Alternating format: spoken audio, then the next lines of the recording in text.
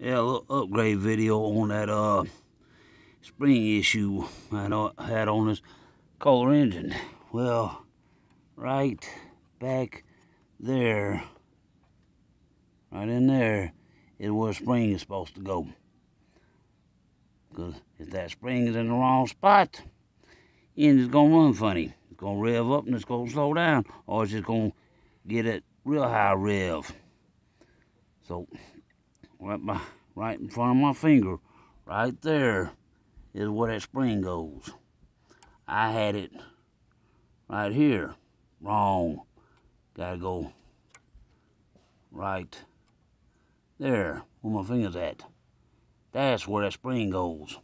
So thank y'all to all those who helped me with this issue. And uh, one other issue I have found, well, really two.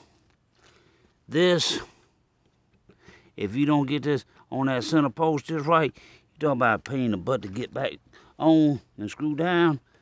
Yeah, you just had to be patient. And now the other issue. My lawnmower was running funny. It wasn't fired.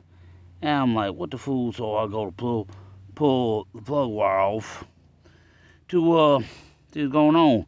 Plug wire came off, spark plug, too easy. Yeah. I put it back on, kept, I took the spark plug out, and it kept on. You got to really shove this big rubber part all the way. You got to cover all the uh, porcelain to get that tip of that spark plug boot into the gold wire. Because if you don't, well, lawnmower's either not going to crank, or if it does crank, it's going to act like it's hitting and missing. But this lawnmower is ready to go. I want to take all this engine uh, muffler protective covering off. It's got a bad radical. I still got to pull this and fix it and get the new engine for it.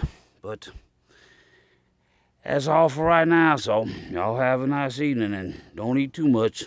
See y'all later.